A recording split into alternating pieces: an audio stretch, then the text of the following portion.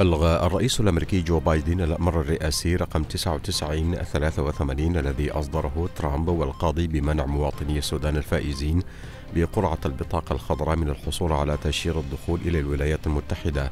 ووجه بايدن الخارجية الأمريكية بإعادة إصدار التأشيرات وصل الخرطوم وزير خارجية المملكة المتحدة دومينيك راب في زيارة رسمية للبلاد ويلتقي الوزير البريطاني برئيس المجلس السيادي عبد الفتاح البرهان ورئيس الوزراء عبد الله حمدوك ووزير العدل نصر الدين عبد الباري.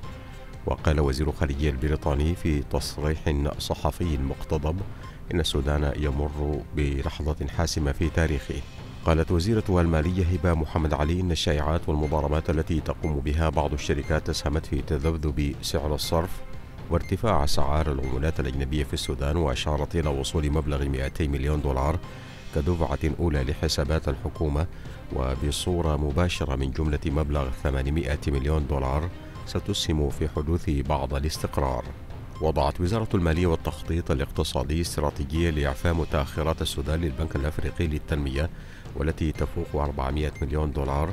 جاء ذلك لدى لقاء وزيرة المالية هبة محمد علي بروبيل دوروجو المدير القطري للبنك الأفريقي للتنمية بالسودان وأكد روبيل حرص البنك الأفريقي للتنمية على تسهيل إعفاء ديون السودان إضافة إلى توفير التمويل اللازم للمشاريع التنموية في السودان. اتهمت إدارة المحالج بالفاو وحلف الجديدة أجانب من جنسيات سورية وتركية وصينية وسماسرة وتجار بالتلاعب في أسعار القطن عبر عمليات شراء مشبوهة ووصفت ما يحدث في قطاع القطن بالفوضى.